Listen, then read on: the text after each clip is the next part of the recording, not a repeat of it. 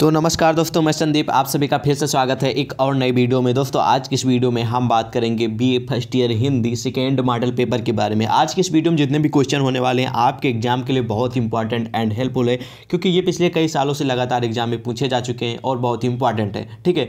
तो मुझे लगता है आप लोगों के एग्ज़ाम आने वाले हैं, इसलिए मैं सोचता हूँ कि आप लोगों को कुछ क्वेश्चन ऐसे प्रोवाइड कर सकूँ, जिससे आपको एग्ज़ाम में हेल्प मिले, कुछ ना कुछ तो हेल्प मिल जाए।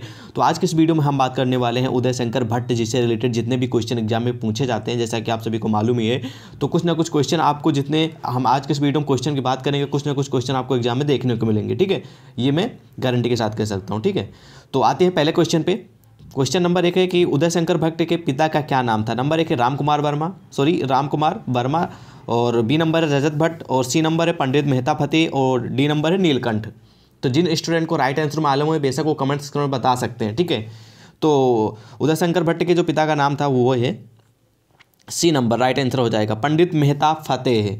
ठीक है, अब बढ़ते हैं नेक्स्ट क्वेश्चन की ओर। नेक्स्ट क्वेश्चन ये है कि उदय शंकर भट्ट का जन्म कहाँ हुआ था? नंबर एक है Madhya Pradesh B number Uttar Pradesh C number Chennai और डी नंबर है दिल्ली। तो उदय शंकर भट्ट का जो जन्म हुआ था, वो कहाँ हुआ था? बहुत सारे स्टूडेंट का कन्फ्यूज़न रहता है। ठीक है तो इस क्वेश्चन का जो राइट आंसर हो जाएगा, वो हो जाएगा उत्तर प्रदेश। ठीक है, उत्तर प्रदेश में उदय शंकर भट्ट जी का जन्म हुआ था।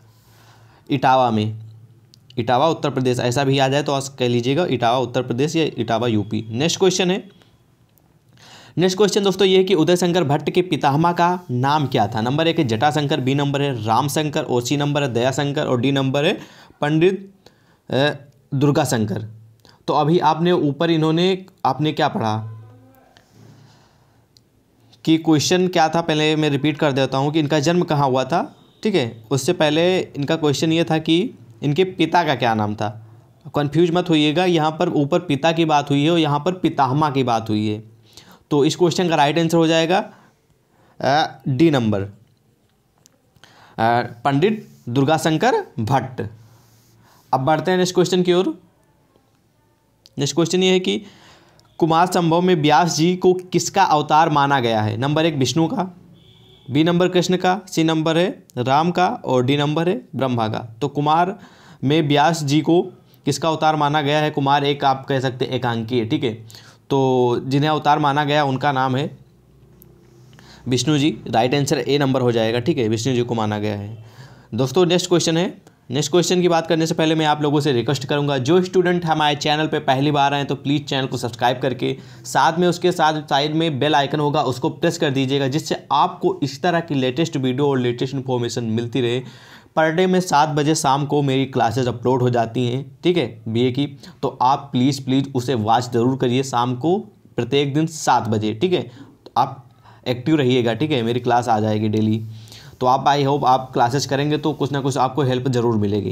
क्वेश्चन पे आते हैं। क्वेश्चन है कि उदय शंकर भट्ट का जन्म कब हुआ था? नंबर एक है 1905 बी नंबर है अठारह और सी नंबर है अठारह सौ अट्ठानबे और डी नंबर है 1910 तो इस क्वेश्चन का जो राइट आंसर हो जाएगा, वो हो जाएगा सी नंबर उन्नीस सौ अट्ठानबे में उदय शंकर भट्ट का जन्म हुआ था।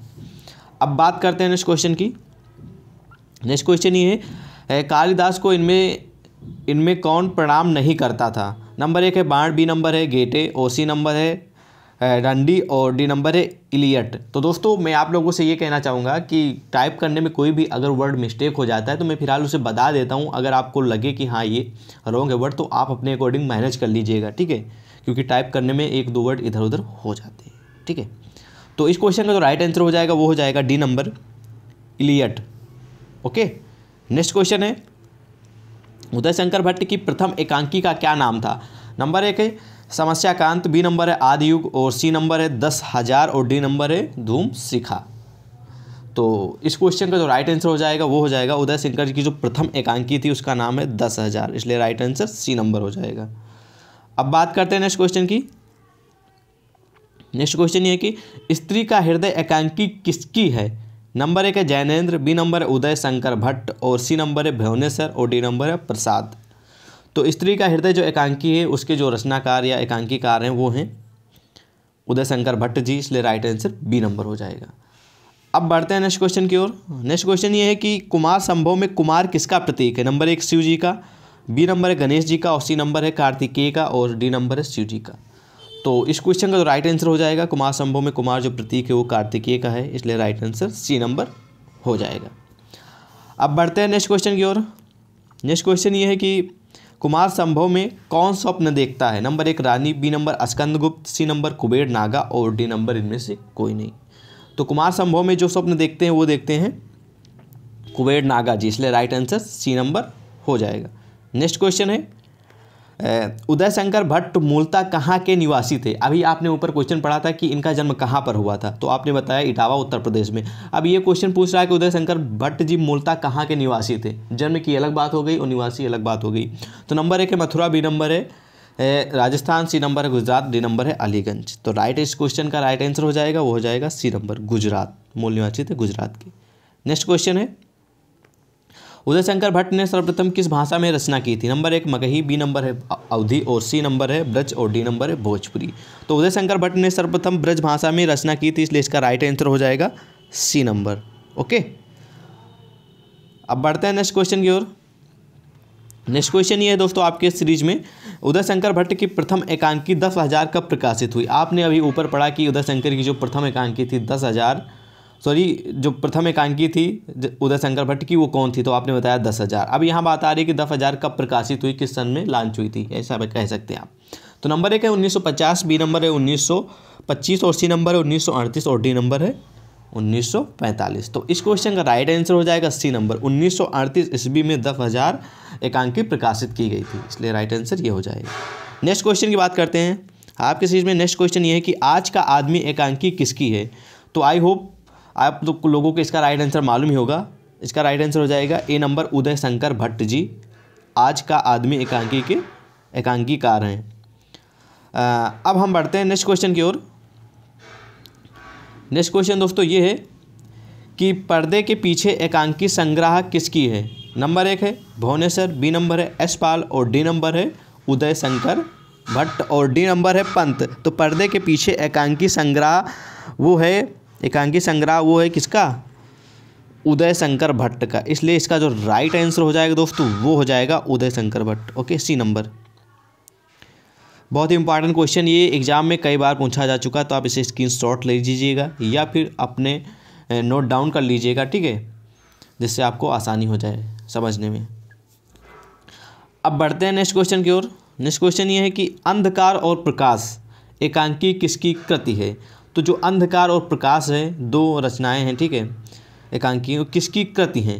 नंबर ऑप्शन एक है, Ram Prasad, B number Ram Kumar Verma, C number Uday Shankar Bhatt, और डी नंबर उपेंद्र नाथ अस्क तो राइट आंसर इसका हो जाएगा, सी नंबर उदय शंकर भट्ट। दोस्तों, लेकिन आपका जब एग्ज़ाम होगा ओमार सीट पे, ठीक है, जिन स्टूडेंट का ओमार सीट पे एग्ज़ाम होगा फ़र्स्ट ईयर वालों का, उन्हीं के लिए ये वीडियो थी। तो मैं आपको ये बता दूँ पहले कि नेक्स्ट क्वेश्चन की बात करने से पहले मैं कुछ आप लोगों को सजेशन करना चाहूँगा सजेस्ट कि जो आप लोगों का ओमार सीट मिलेगी, ठीक है? उसमें तो मैं बता रहा हूँ क्योंकि मैं इंडिविजुअल एक ही पर्सन के, एक वीडियो में एक ही पर्सन की बात करता हूँ लमसम ठीक है? तो आपको एग्ज़ाम में बहुत सारे लेखक मिलेंगे, बहुत सारे सबकी अलग अलग कृतियाँ मिलेंगी। ये नहीं कि सिर्फ़ उदय शंकर भट्ट या तुलसीदास या कबीरदास जी के बारे में ही बताया जाएगा, सभी लेखक के क्वेश्चन रहेंगे उसमें। तो आपको क्वेश्चन को माइंड में सेट करना है, ध्यान देना है, सही से एग्जीक्यूट करना है ठीक है? तभी आपको एग्ज़ाम में हेल्प हेल्प मिल पाएगी। क्योंकि ए, आप अगर ये क्वेश्चन पढ़ रहे हैं अगर एग्ज़ाम में दूसरा आ गया तो आप कन्फ्यूज़न क्रिएट हो जाएगी। तो इसीलिए मैं बोलता हूँ कि जो इंपॉर्टेंट क्वेश्चन लेके आप उसे नोट डाउन कर लीजिएगा ओके और स्क्रीन भी ले लीजिएगा। नेक्स्ट क्वेश्चन की बात करते हैं। कुमार संभव एकांकी में सरस्वती किसे सॉरी क्वेश्चन थोड़ा टाइप करने मिस हुआ मैं बता देता हूँ क्या होना चाहिए यहाँ पे। तो दोस्तों क्वेश्चन कुछ इस प्रकार है कि कुमार संभव एकांकी में सरस्वती किसे मनाती हैं? इसमें टाइप करने मिस हो गया, इसमें मानती हो गया तो आप मनाती समझ लीजिएगा, ठीक है? मनाती हैं, ठीक है? यहाँ पर मात्रा लगा लीजिएगा, ओके? अब बढ़ते हैं नेक्स्ट क्वेश्चन की ओर तो हाँ इसका जो राइट आंसर हो जाएगा, मैं बता दूँ पहले आप लोगों को। तो इस क्वेश्चन का जो राइट आंसर हो जाएगा दोस्तों, वो हो जाएगा सी नंबर ठीक है? राइट आंसर हो जाएगा सी नंबर पार्वती।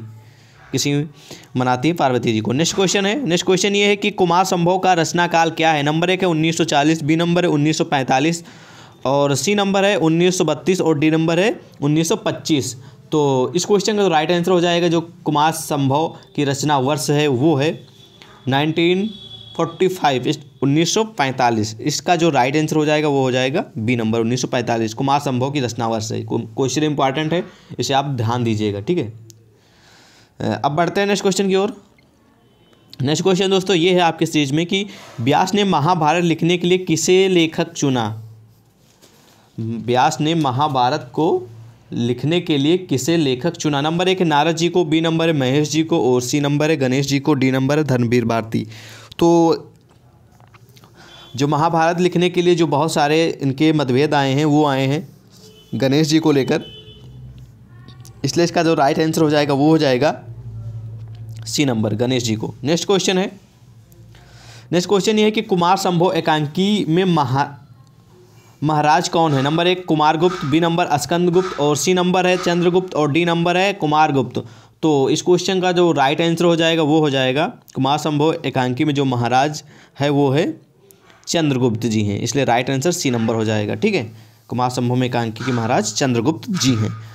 तो दोस्तों, आज की इस वीडियो में बस इतने क्वेश्चन कुमार यानी कि आपको मैं बता दूँ कि उदय शंकर भट्ट से रिलेटेड इतने क्वेश्चन मुझे इंपॉर्टेंट लगे। और भी क्वेश्चन थे बट मुझे जो इंपॉर्टेंट लगे, मैंने उतने ही आप लोगों को बताए हैं। और और भी क्वेश्चन मैं ऐड कर सकता था, लेकिन क्वेश्चन मुझे इंपॉर्टेंट नहीं लगे और फिर भी वीडियो लंबी हो जाती, आप लोग बोर होते, इसलिए मैंने इंपॉर्टेंट क्वेश्चन इसमें करके डाल दिए हैं। और भी क्वेश्चन इनसे रिलेटेड हैं, मैं उनको वेबसाइट पे डालूँगा तो आप वो वेबसाइट पे पढ़ पाएँगे, ठीक है? तो वीडियो के डिस्कशन मेरी वेबसाइट का लिंक मिल जाएगा, जो स्टूडेंट पहली बार है, मैं उनको बता रहा हूँ, क्योंकि पुराने स्टूडेंट को मालूम ही है। वीडियो के डिस्कशन मेरा वेबसाइट है, जिसका नाम है संदीप इन्फो डॉट कॉम उस पर क्लिक करेंगे तो आप वेबसाइट पर रिडायरेक्ट हो जाएँगे। वहाँ पर आपको बहुत सारे क्वेश्चन तुलसीदास, कबीरदास रहीम दास और बहुत सारे बिहारी लाल जैसे क्वेश्चन आपको मिलेंगे जो कि आपके एग्ज़ाम के लिए पूरी तरह हेल्पफुल है। तो आप वो सारे क्वेश्चन अच्छे से पढ़िएगा, जिससे आपको पूरी हेल्प मिले। क्वेश्चन और आंसर दोनों मिल जाएँगे, ठीक है? तो दोस्तों, अब आज की इस वीडियो में बस इतना ही मिलते हैं आपको किसी नेक्स्ट वीडियो में। तब तक के लिए thanks for watching and meet you next video bye bye दोस्तों।